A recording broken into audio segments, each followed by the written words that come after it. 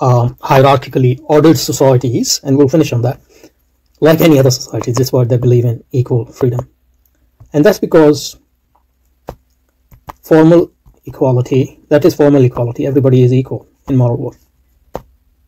In every society, there are two reasons for that. In every society, formal, at least the societies which claim that people are equal in certain aspects, those equalities are formal. They are used to justify actual inequalities. And one of the things which is, and because liberal societies are based on freedom, the concept of freedom, and freedom requires um, resources, especially material resources. Because what limits your freedom, as we saw, is scarcity.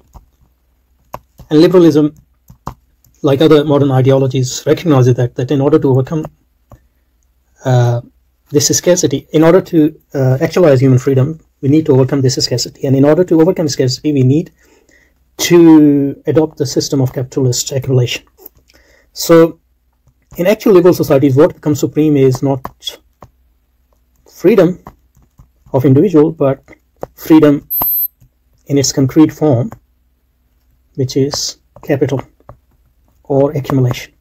So, in actual fact, those individuals were able to accumulate better and hence actualize their freedom better. In actual liberal society, they, they have obviously in practice, they they have more power and they have higher social status than